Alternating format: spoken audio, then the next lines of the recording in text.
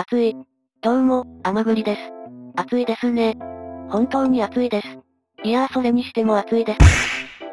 動画投稿者さんや配信者さんならわかると思うんですが、夏の動画作業って本当に地獄ですよね。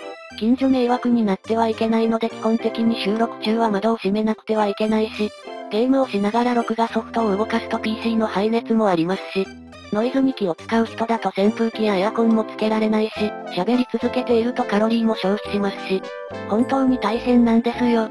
私はゆっくりなのであまり関係ありませんが、生声チャンネルの方の活動時は毎回汗だくになりながらやっています。こんなに暑い中毎日のようにゲーム実況を投稿してる投稿者さんたち、本当に尊敬します。というわけで、今回はそんな暑い夏を快適に過ごせるお家を紹介します。割と広めのバルコニーがついているので、今の時期自宅でバーベキューっていうのもいいかもしれませんね。煙や匂いなどが近隣住民の迷惑になる可能性もありますが、そこはマイクラなので安心してください。ちょうど、最近のアプデで追加されたキャンプファイヤーを使えばそれっぽくなりそうです。というわけで解説パートへ行ってみよう。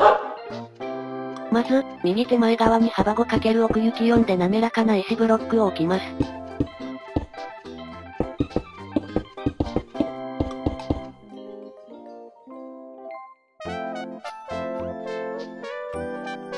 続いて今作った長方形の左側に薄灰色のコンクリートを7ブロック伸ばし、90度曲がって奥側に11ブロック伸ばします。またまた90度曲がって6ブロック。最後に支点と終点をつなげます。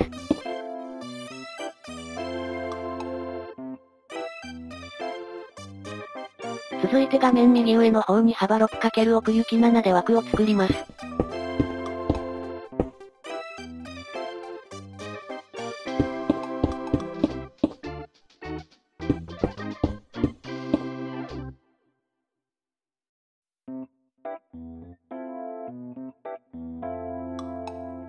続いて、左側の長方形をすべて上に4ブロック伸ばします。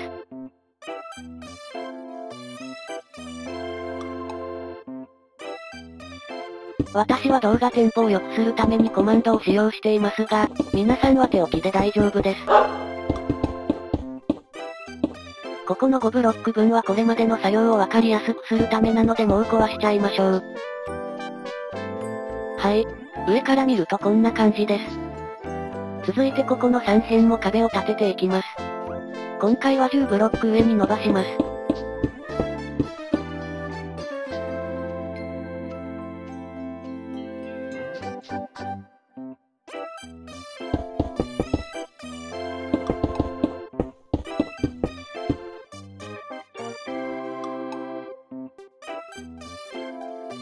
一度正面に戻ります。向かって左奥の角に白色のコンクリートを6ブロック置いて、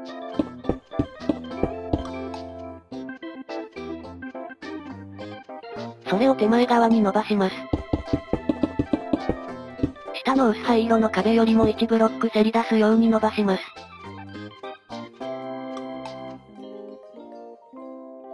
続いて今作った壁の上部に移動し、右に向かって1ブロック置いて上に移動。2ブロック置いて上に移動。2ブロック置いて上に移動。最後1ブロック。こういう形になるようにブロックを設置します。続いて最後に置いた位置から下に向かってブロックを下げていき、ここの壁と直角に交わる位置で止めます。中を埋めます。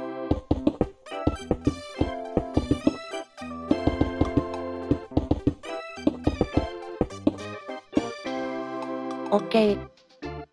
背面側も同じように壁を作りましょう。背面側は下の薄灰色の壁から1ブロックせり出す必要はありません。2回目なので倍速で。前面と背面の頂点をつなぎます。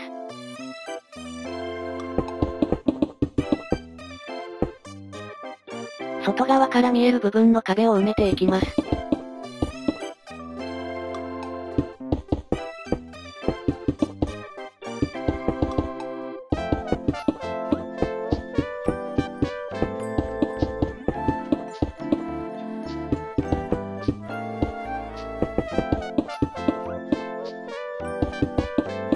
ここは室内になる部分なので壁を埋めなくて大丈夫です。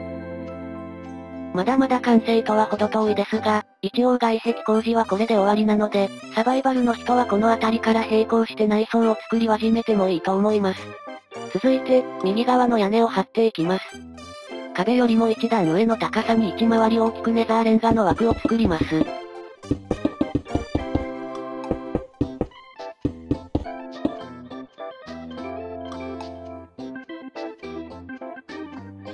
内側をすべてネザーレンガで埋めます。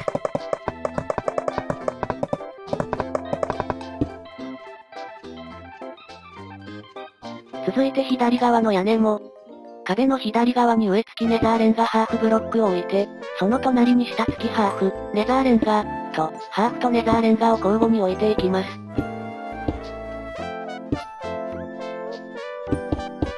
壁から2ブロック分はみ出した位置でストップ。今置いたブロックをすべて手前に1ブロック伸ばします。そして、同じように背面側にも壁より1ブロックせり出した位置まで伸ばします。そういえば、このモダンな家の作り方講座シリーズももうパート中ですね。一応毎回デザインが被らないように作っているのですが、そう考えるとこのシリーズを全部見ている人はすでに10通りの民家の作り方をマスターしているということになりますね。例えば、玄関はパート1で紹介した玄関を、屋根はパート4で紹介した屋根を、のように組み合わせてみて、そこからオリジナルの民家を作り出すというような遊び方もありかもしれません。色々工夫してみて自分の住みやすい家を作ろうね。はい。屋根が埋まりました。側面に移動し、壁の端に合わせてジャングルの植え付き階段、ジャングルの木材という順番に置きます。2ブロック開けて同じものをもう一つ。2ブロック開けて、と繰り返します。ちょうど反対側も壁の端と合うところで終わるわずです。屋根の厚みを整えるためにハーフブロックの下に植え付きハーフブロックを置きます。側面部分もすべてハーフブロックの下に植え付きハーフブロックを置きます。ここのハーフブロックは最初から植え付きハーフブロックなので置かなくて大丈夫です。一度正面で確認。ここら辺から家っぽさが出てきましたね。ただ、まだまだのっぺりなので立体感を出していきます。滑らかな石の土台の斜め右手前に多くの木材を置いて、6ブロック上に伸ばします。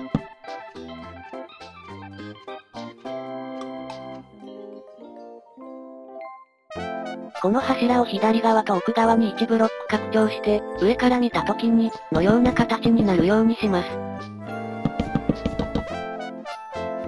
すべてに多くのハーフブロックを置きます。これだけでも少しのっぺり感が解消されたでしょう。続いてこの家の特徴とも言えるバルコニー部分を作ります。白い壁の右下にジャングルの階段を2つ置いて、その上にジャングルのハーフ、右に移動して先ほど置いた奥の柱にも、ジャングルの階段を3つ置いてその上にジャングルのハーフ。左右をすべてハーフブロックで繋げます。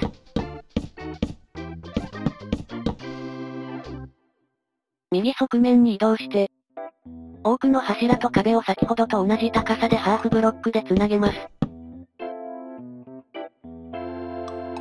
中に入って、内側をハーフブロックで埋めて床を作ります。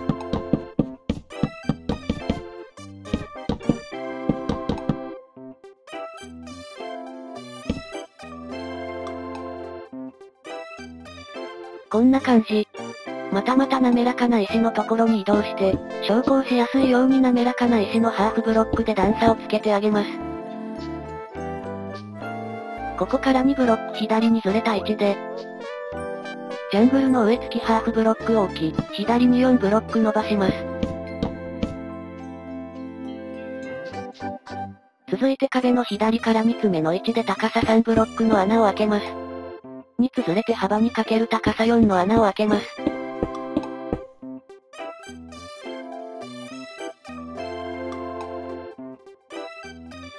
下に移動し、右から3ブロック目、上から2ブロック目の位置に1ブロックの穴。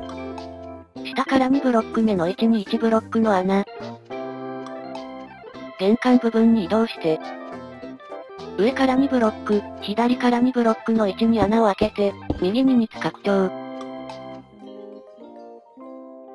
バルコニーに移動して、左から2ブロック、上から2ブロックの位置に穴を開けて、下と右にそれぞれ2ブロック分拡張。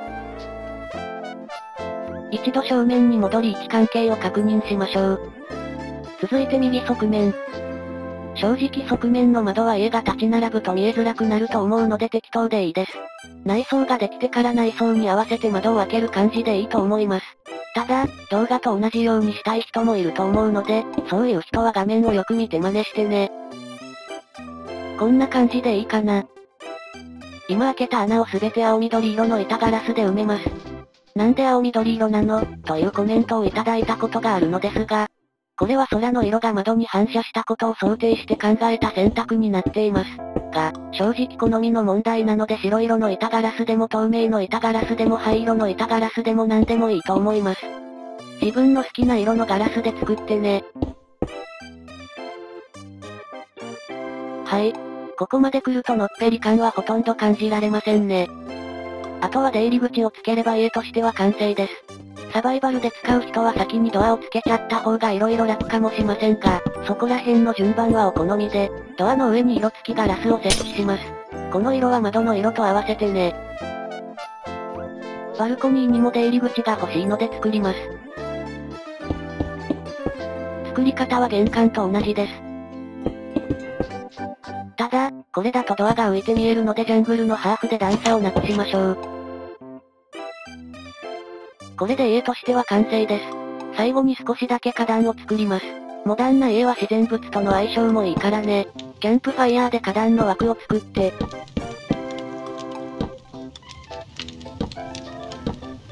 ここだけ見たら火事に見えるけど安心してね。水バケツで消火活動をしましょう。この日落としたキャンプファイヤーが結構建築には使えます。これを利用した建築物の作り方を近々別の媒体で公開予定なので楽しみにしていてね。枠の内側を草ブロックで埋めます。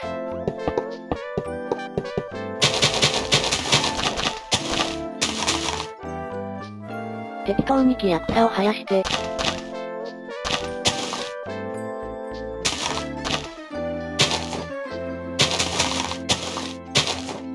これにて、モダンな家の完成です。最後に使用例を見てみましょう。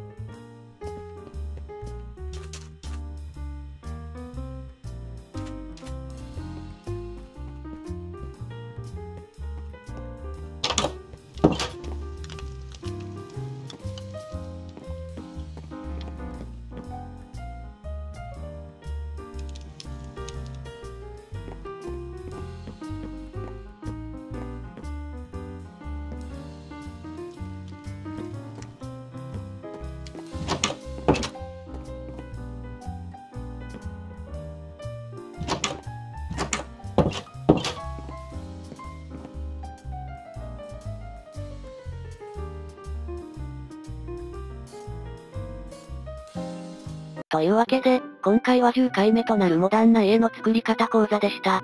夏休みは投稿頻度を上げたいとは思っているのですが、今年の7月8月は人生でトップレベルに忙しい時期なので正直どのくらい投稿できるかわかりません。ですが、忙しいというのも動画に関することだったり、マイクラに関するお仕事だったりと、皆さんにも少し関係があるかもしれないことの準備に追われている感じなので、サボっているとは思わず待っていてもらえるとありがたいです。近いうちに公表します。最後でご視聴いただきありがとうございました。それでは。